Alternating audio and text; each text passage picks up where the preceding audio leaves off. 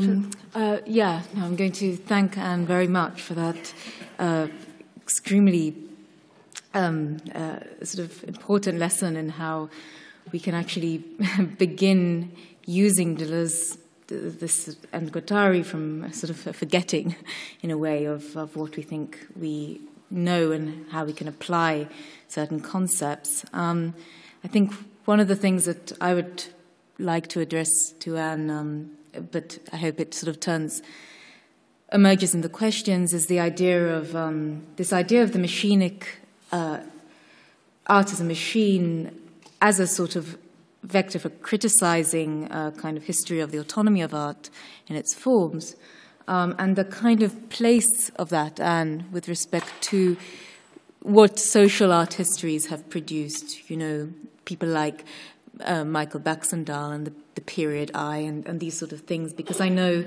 I mean, I'm, I'm quite sure that what you're articulating in terms of the notion of this kind of a constructive experience of of a particular social assemblage is quite different from this uh, very easy idea of a period eye, where we have the quite confirmed notion, interpretation of Van Eyck's altarpiece as a machine. So put your eye to, uh, not I, not I. I mean, not only I.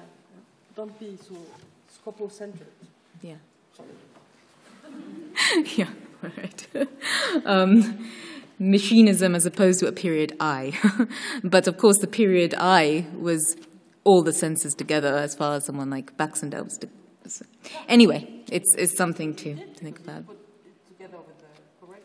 Right. But I think this is one of the really interesting sort of vectors of what you're saying, you know, critically with respect to the whole art history and the social history of art and that disciplining of the social. And I think that's something that uh, I'd like to hear you more, talk about more with respect to tra the transcendental empiricism. Yeah? yeah. Well, well, of course, there has been a lot of uh, very beautiful work on sociology of art, and I do read them, and I do appreciate them. But then it's only part of the question, right? So you have to put it together. So, in fact, in my uh, um, I didn't uh, strongly differentiate here in my talk visual art and music. One of my purposes was uh, talking about VJs, Deleuze and Guattari VJs. Right? One of my purposes was to say this is very, I mean, usual. Uh, it's a really common thought today. There is no distinction whatsoever between visual and uh, sound that nearly every video artist is together, becoming musician when coming from the visual art, or musicians become interested in some kind of visual representation, uh, representation as a presentation of uh, either um, music or uh, as a, part, a, new kind of writing. So, I mean, and it's not something that has only um, taking place today. In fact, it's because we have categories in our minds that are too uh, simple. And these categories have to be taken as a, a transformatory, um, transformatory membranes. So even in the past, this was the case uh, also. I'm always, you know that I'm fond of uh, Deleuze and Guattari, but I'm always very much um, annoyed by the fact that most of the people who are dealing with Deleuze and Guattari in art are terribly, terribly binary. They come up with molar distinctions. So this is good because it's immanence, and nobody knows how to define immanence, right? Because immanence is not something. Because if you say that immanence is something, so you are Platonistic. And you believe that there is, you know, two floor building, first floor everybody, second floor immanence, where only the philosopher can go. No? And so in the second floor you have some bright artists, the immanence guys, and then everybody else is doing transcendent. I mean, this is so annoying, right? because it's a way to understand Deleuze's and Guattari's uh, proposition of new type of formalization as the same eternal boring distinction between good and evil. And so you have the good immanence, and so this is really something terrible. Sorry. so in, in order to avoid this, I mean, it's really a huge, huge, huge issue today for people who are found in Deleuze and Guattari stuff. To avoid this incredibly horrible, reactionary way to cut in two and, and, to, and, to, and to take immanence as a kind of reservoir of ontology. So this is the reason why I say no ontology. No. I say, well, in English it's very easy to put it. Not one ontology, no, a becomology, right? Becomology. So formalism as transformation. This is something else. So no big ontology of immanence. A becomology that allows us to consider that Johann Sebastian Bach, of course, he's interesting. I mean, as John Cage, not for the same reasons. Okay, sorry. I think we can probably take some questions now, 10 minutes. Yes. Mm-hmm. Okay. I would like to approach you. There are a million things you could to talk about in response to what you said. I would like to approach it from the direction of Godard. Right. He's not necessarily a stranger to many of his ideas.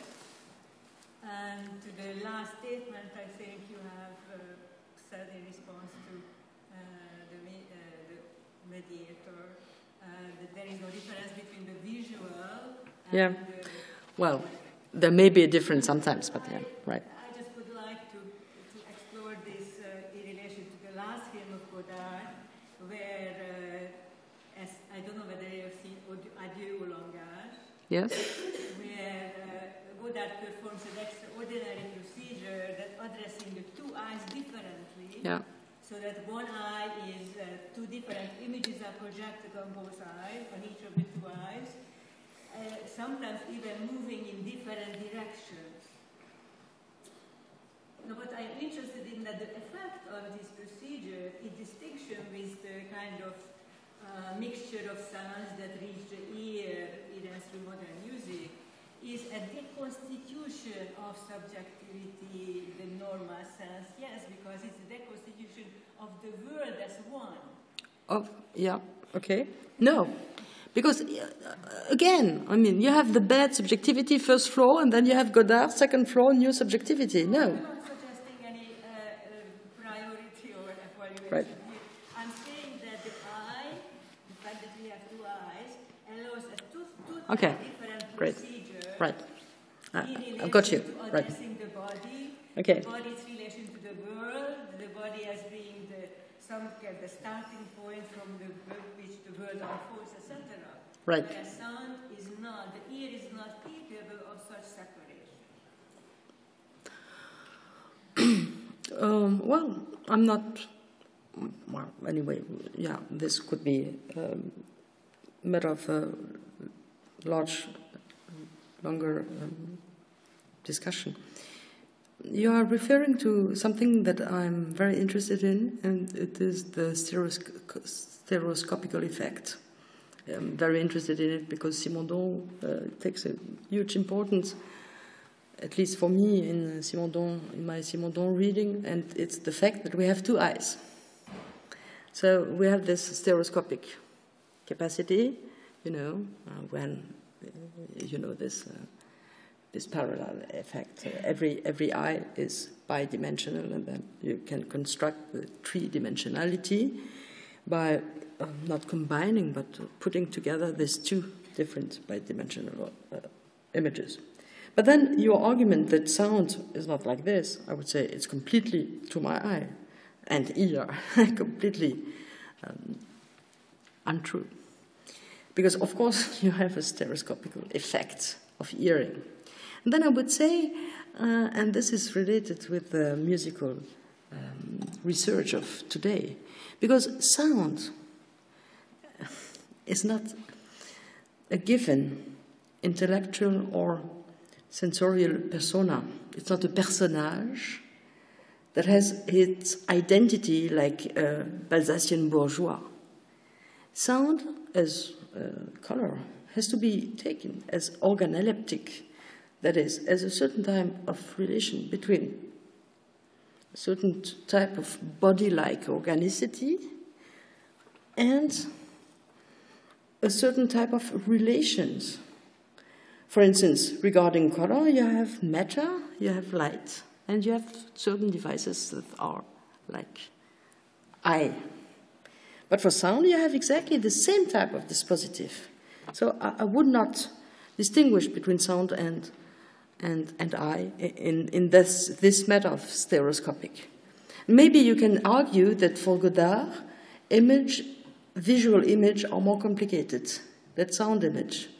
Maybe I could follow you. But then I would not say, I didn't catch your point. No, you cannot separate. Right. You cannot address the two is separate. Right. Whereas Godard in that film addresses the two eyes differently. Well, why not?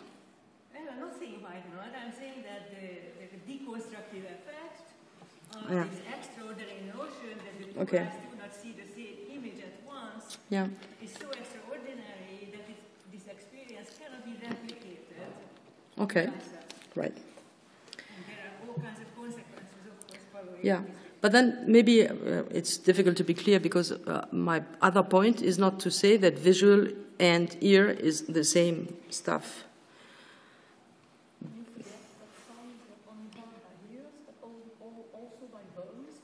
Exactly. Well, yeah, of course. Yeah. Yeah, maybe to continue that, um, perhaps I'm, I really appreciate what you said about um, art and this machinic analysis of it, this opening to arts and technique and technique. You alluded to that this would follow on what you said, the so-called natural body, but I'm just wondering um, of the place of embodiment and embodied arts in this machinic um, vision. Is it exactly the same? Um, uh, arts meaning, uh, of course, song primarily in this context, but also movement and, and why split those, some move, actions of the body. I wonder if that is sort of demoted in its importance because of the uh, power of the technologies that you're discussing, or if it's just a continuum um, with the technologies, it becomes the body is machinic in the same way, or if the, the so-called natural body has some specialness or some difference from the, the technologies that you're referring to. No, I mean, it's difficult for us because our language and we were taught to, to, to think with these categories, body and technique. But this is completely out of the question because I do not distinguish body and technique at all. So I was obliged to, to, to, to use this word in order for you to understand that I do not distinguish between art and uh, technique. But then I, I have possibilities to make my point and to say that I do prefer this piece of work and that, because it's not pure relativism, right? But then I do not distinguish whatsoever body and technique. I don't. And more, I- do argue that if you do so, you are incapable to understand contemporary art and, by extension, ancient art as well. Because my, my point was, I mean,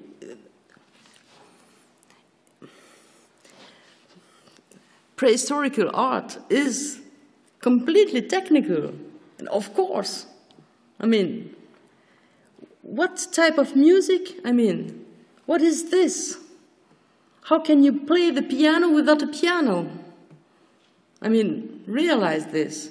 And if it's true for music, it is obviously true for painting as well, for every type of art. Now, it, it has been comprehensive to Western sensibilities and Western's uh, uh, mentalities uh, since the invention of photography and cinema, which were some kind of scandal, because suddenly it appears that the artistic genius was not only a soul, a masculine soul, of course, right? But then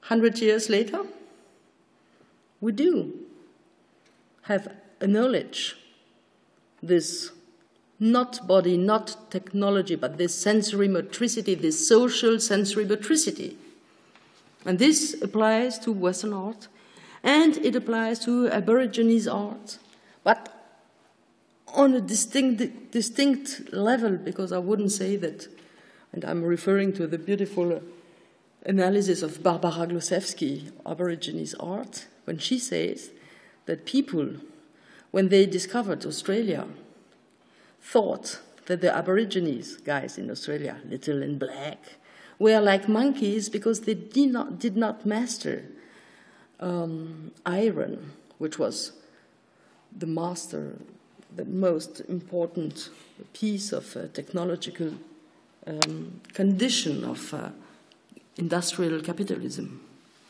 But then Barbara Glowczewski argued that if Australia could have been discovered nowadays, which is of course impossible, but if they should have been discovered today, it is possible that with our use of internet, we would have been completely amazed by the capacities of these people to get in connection and to think together. Dancing, music, um, justice, land, mythology, properties, and to put them together in a way that is like, you know, internet without electricity. So this is a very, very, very good example to understand that one, on one hand, we cannot use a concept of art that is valuable for, that is uh, um, interesting for every type of culture. But on the other hand, we have to think of social, technical, aesthetical devices, and we have to take them together. So sorry for being long.